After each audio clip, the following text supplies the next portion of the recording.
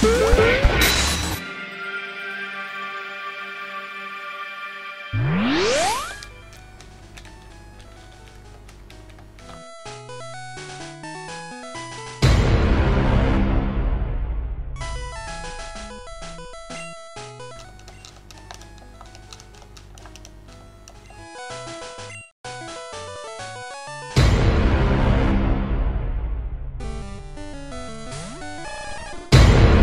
Launching in April 1989 in Japan, Nintendo's Game Boy took the world by storm and literally changed the game in the process, selling an incredible 60 million units in the span of just 8 years. And how could you resist Pokemon Red and Blue, Tetris, Super Mario World? If there was a better way to spend long commutes or car journeys in the 90s, I want to hear it playing big angular cartridges requiring four AA batteries and boasting a 2.6 inch 4 shade LCD screen as well as stereo sound through headphones, the Game Boy left an indelible mark on popular culture. Look, here's one very old and one recently deceased superhero enjoying a game. I've been waiting to make this video too, as you might be able to tell, I am a big fan of the original Game Boy. Just don't ask me about my Game Boy Color collection, or do.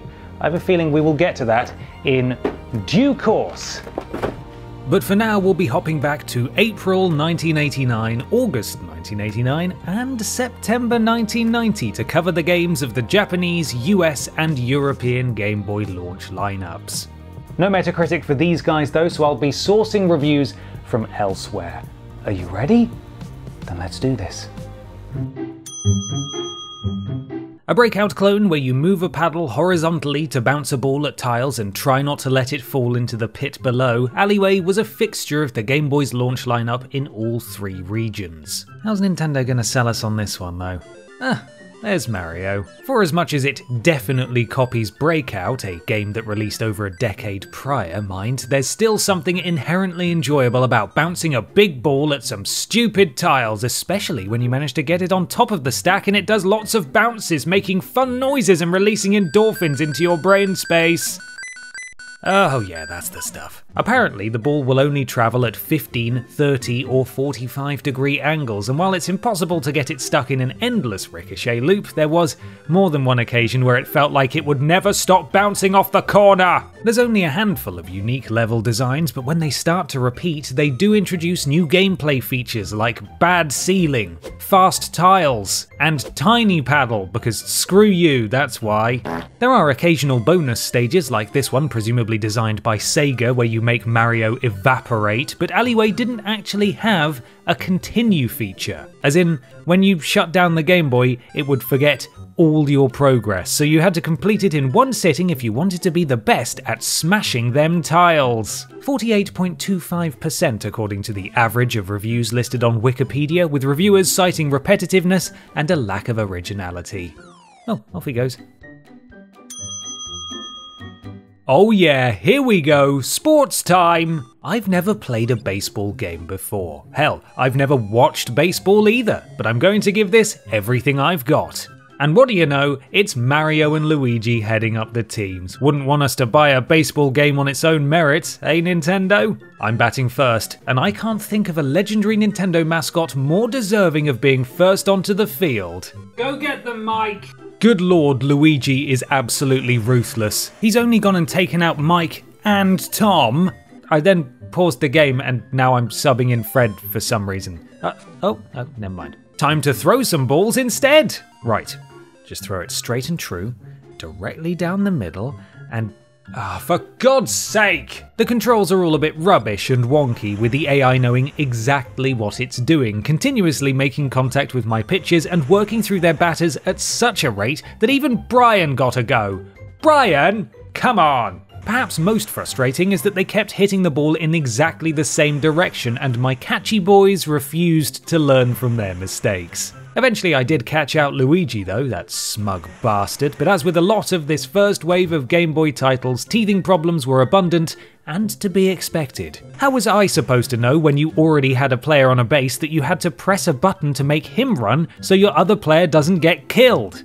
Or eliminated? Or whatever the baseball terminology is. IGN gave it 50%, stating, The game's controls are serviceable and it's still satisfying to send a home run sailing over the outfield wall, so baseball isn't a bad game, just kind of a boring one.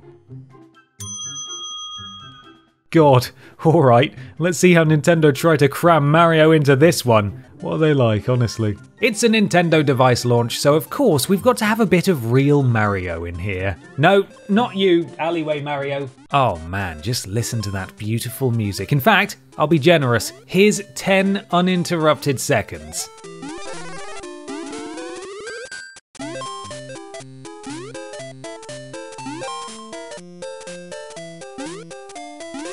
You're welcome. Set in the rarely revisited Sarasaland and including worlds based on real locations like ancient Egypt, this side scrolling platformer is not only the first Mario game of this kind to be released for a handheld console, but it's also the first of the Plumbers games to not have Shigeru Miyamoto involved. And I'd say they did a bang up job, all things considered. Goombas, coins, Shelly boys, infuriating Sphinx bosses, it's all here. Admittedly, it's a little weird hearing the non contemporary invincibility power up music, but I'll forgive it.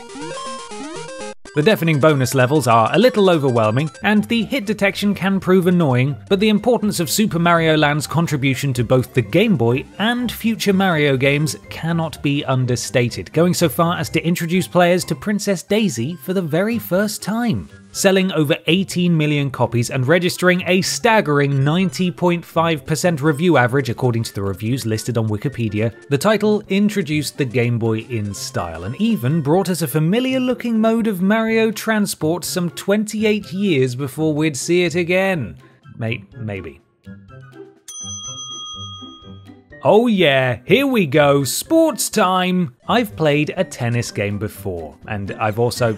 Oh no, Mario, you get out! You get out of here! Music, yes! Not so much an option as a declaration of excitement, eh, tennis for the Game Boy? Practically a remake of NES Tennis and a launch title unique to the US, tennis is a predictably simple affair. You take it in turns, serving and receiving with the aim of not losing. A revelation, I know. Problem is, I found it really rather difficult, seemingly losing most of my points not to superior play from my opposition, but to swinging my racket without making contact with the ball, and also 99% of my returns being declared out by this overbearing, mustachioed idiot. Wind your neck in, Mario, please! It is possible to lob, but without a real sense of positioning or shot power, the subtleties and pixel perfect requirements of volleys are a real challenge to pull off. While it may feel logical to send your foe right before returning the ball to the left, it almost always ends up going out anyway. Similar to a few of these launch games, two Game Boy owners can get annoyed together via link cable. So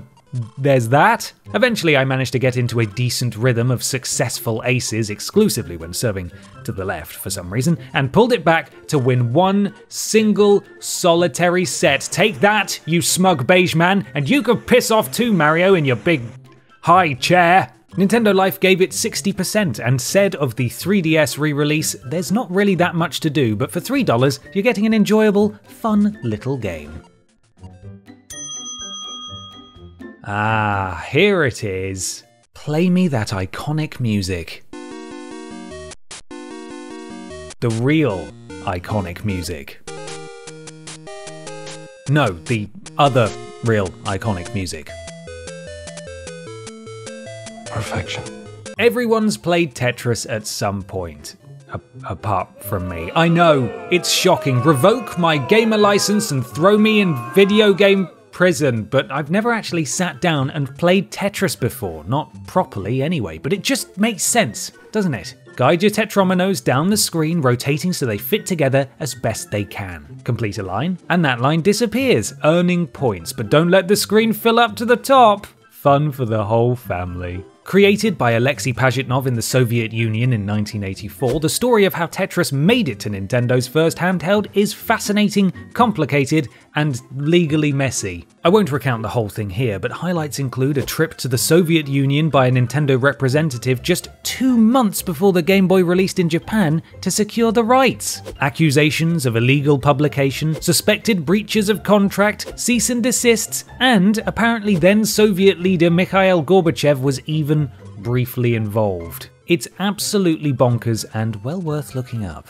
Anyway, you can also play a challenge mode where you start with a screen full of wonkily placed blocks and have to work around them, which honestly looks like a normal game for me. An additional fun challenge is seeing just how fast you can get a game over. Let's watch.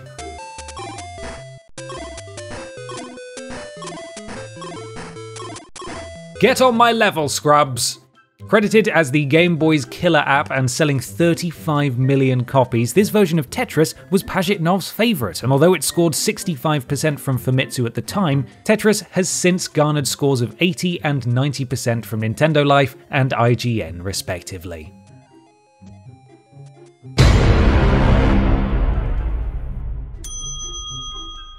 Got a level with you on this one, guys. I don't speak Japanese. Yakuman was a Japan exclusive launch title for the Game Boy and as such was entirely comprised of Japanese. It's also a Mahjong game. Have you ever played Mahjong? Because I bloody haven't. So, I begin my Mahjong adventure by picking the tiles that look most interesting to me before just selecting them as they're revealed. To my surprise, I won! I think? There's a number there now, anyway, unless it's a golf situation where lowest score wins or something, but I'm choosing to believe I won. Picking more fun looking tiles, I won again? Maybe. This can't be right. I then picked every tile sequentially, and uh, the game finished early and my score was taken away. I also lost some numbers, and oh, I see, my opponent is now 4 0 up, so that uh, I probably wasn't winning then. I've looked up the rules on Wikipedia and still don't understand, but hey, Mahjong on the go? That's got to appeal to someone, probably. Also, I've hunted around for a Yakuman numerically scored review, but try as I might, I simply can't find any. It was a niche game aimed at Japanese adults, so that might not be hugely surprising, but I apologise nonetheless. Fun fact though, the prominently featured Yakuman player on the box was available as a sticker in Super Smash Bros. Brawl and a spirit in Super Smash Bros. Ultimate. So there you are.